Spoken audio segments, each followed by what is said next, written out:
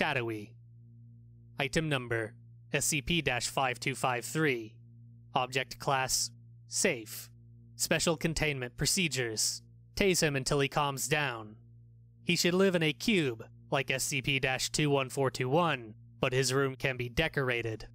Shadowy can decorate it himself, but it has to have a bed and a PC with only one image of error. Description SCP 5253 is a humanoid creature about 5 feet 3 inches tall. SCP 5253 has been seen to take off his hoodie, but not his shirt. SCP 5253 usually goes to bed and disappears from the place and plane of existence.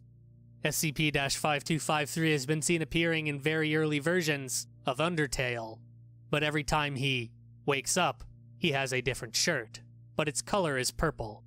Some of the shirts he can appear in can be a shirt that has a certain style, or a style that doesn't even exist yet. Addendum.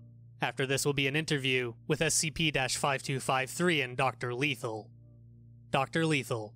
SCP 5253, I heard you were able to enter games when in the mode of sleep. SCP 5253. How can you guys tell? You've been stalking me since I was here. Ah! Dr. Lethal. Now, now, calm down, SCP 5253. SCP 5253.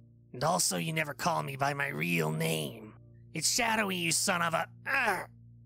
Dr. Lethal. SCP 5253, I have to call you that because of protocol, and the more times I need to use the taser, the more times it will hurt. SCP 5253. What do you want? Dr. Lethal. Why are you able to go into games? SCP 5253. Because I bloody can. Dr. Lethal. This is going nowhere. Shock him down. The guards then shock the living, redacted, out of SCP 5253, but he is still alive.